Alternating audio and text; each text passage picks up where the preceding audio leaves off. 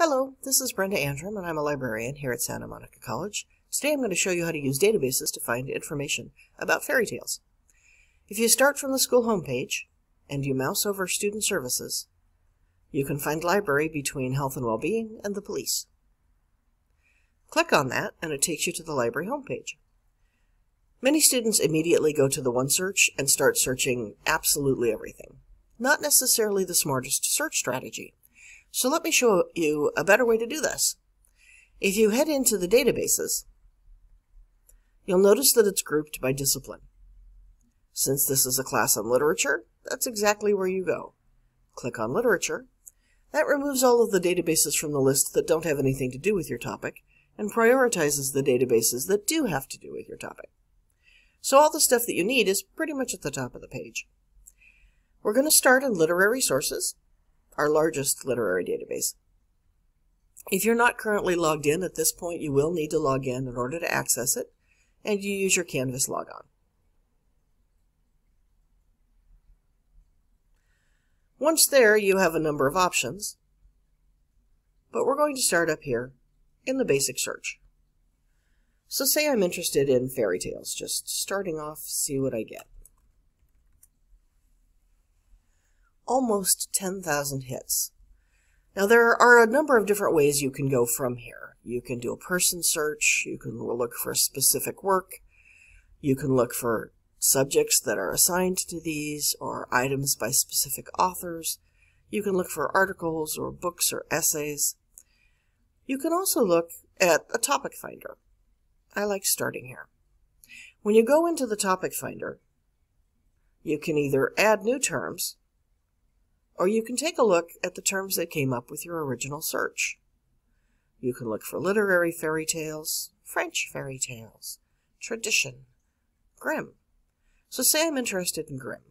I can click on that, and it also breaks down into further subcategories. Folk tales, old, cause yeah, but also incredibly great. Then when I head over here, it will tell me some articles that this specifically has in this database on Grimm. So if I see one that I like, I can click on it, and it will bring up that particular article.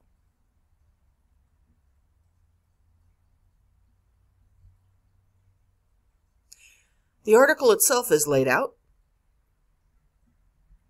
as you see, it's a history of the actual Grimm's fairy tales.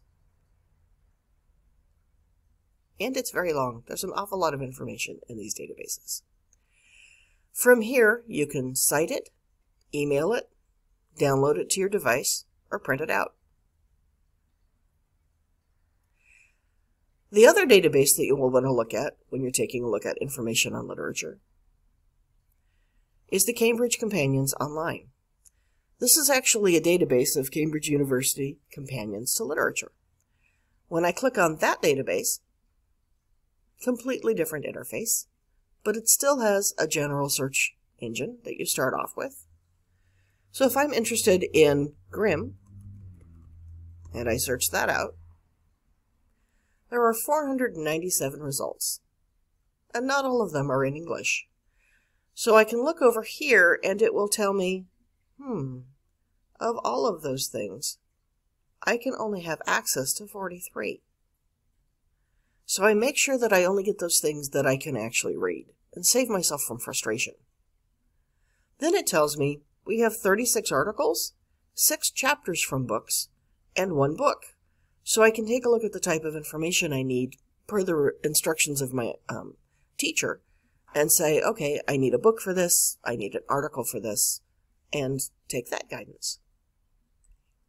You can look at subjects that are covered in these articles, and you can look at various journals that are covered, as well as publishers.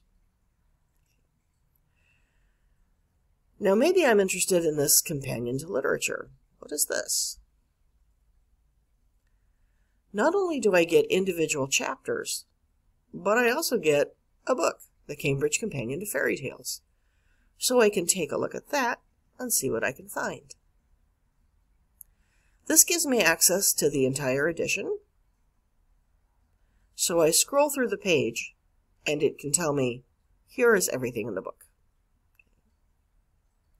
I can also search within the book,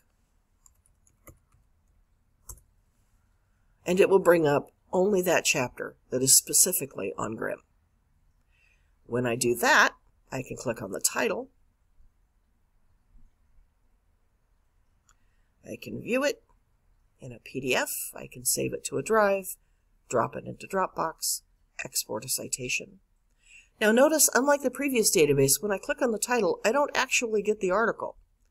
In order to get that article, I go back to my previous page,